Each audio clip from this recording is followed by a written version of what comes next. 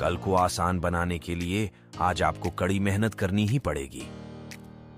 सपनों को सच करने से पहले सपनों को ध्यान से देखना होता है। जमाने में वही लोग हम पर उंगली उठाते हैं, जिनकी हमें छूने की औकात नहीं होती। अगर आप सफल होना चाहते हो तो आपको अपने काम में एकाग्रता लानी होगी।